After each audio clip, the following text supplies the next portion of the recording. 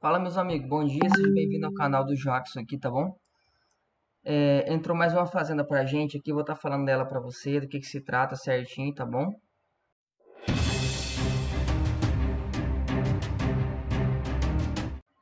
É uma fazenda de 200 hectares, uma divisão de herança em Colniza, Mato Grosso. Eu tô com aberto o mapa satélite aqui em cima dela, pra você ver como que é. E eu vou te explicar um pouco sobre logística, onde que ela fica, a distância dos lugares e tal, para te ter uma ideia quanto isso aqui é grande. Bom, ela fica em Colniza, Mato Grosso, porém, ela já fica na divisa entre Colniza, Amazonas e Rondônia.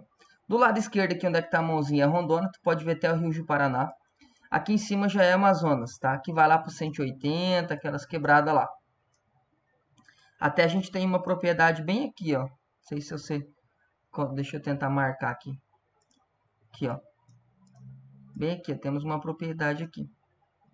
Perto. Só que eu não moro aqui, eu moro em Tangará da Serra, tá? Então, para te ter uma ideia, deixa eu escrever aqui, Tangará da Serra. Olha para você ver onde é que eu moro, ó. Olha o lugar que nós vai ir. tá? Só para você entender a distância que é o Mato Grosso. Tudo é muito longe.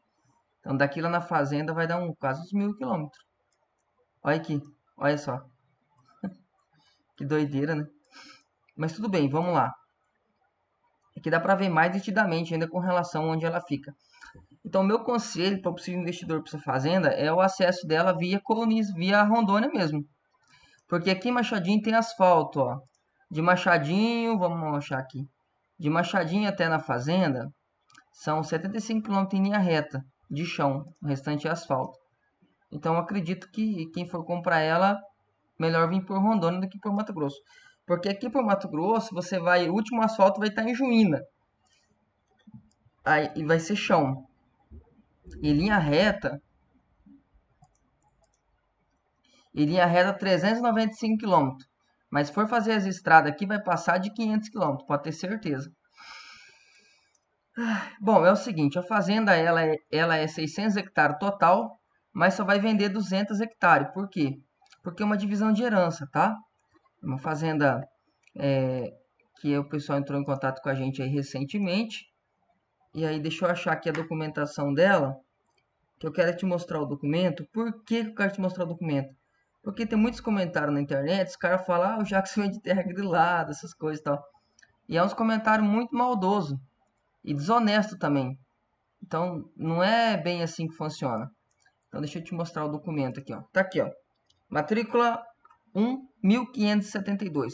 Cartório primeiro ofício de Colniza, tá? Então, a área mãe é 629 hectares. Porém, vai ser dividido em três, tá? Então, 629 dividido por 3 dá 200 e poucos hectares para cada um, tá? Uh, vamos voltar para a área aqui.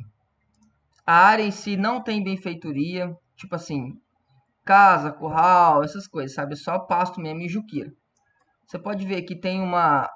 Essa aqui é uma, é uma área de mata de preservação da área, o restante é tudo aberto. Aqui tem água, tem água em todo lugar, tá bom? É, com relação a preço, está saindo 10 mil reais o hectare. E provavelmente vai dar prazo, vai dar condição de pagamento. Estamos vendo a possibilidade aqui de, de negociar via consórcio, tá?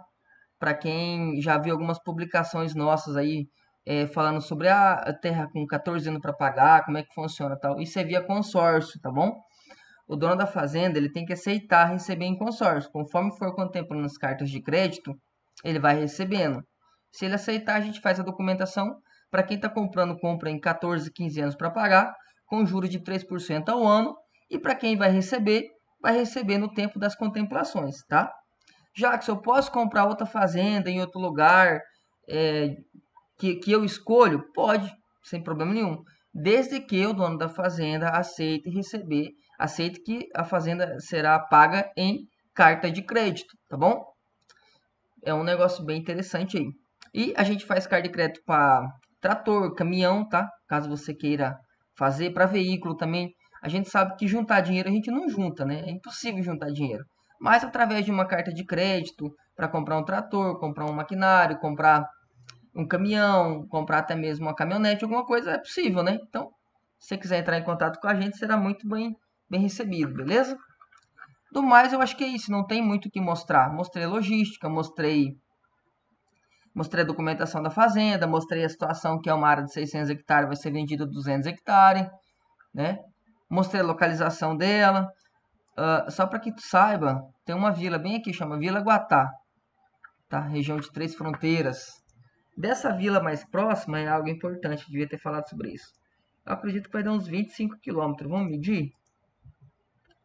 Vamos medir, ó. 19 quilômetros. Bota 20 quilômetros aí, né?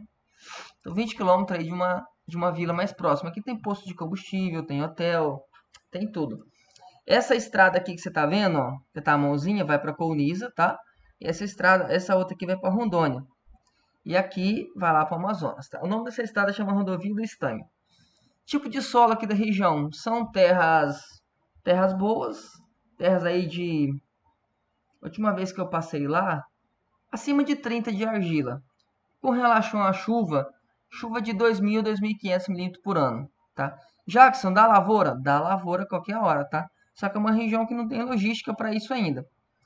Mas, de qualquer forma, coloco à sua disposição. Deus te abençoe. Precisar de nós, tamo aí, beleza?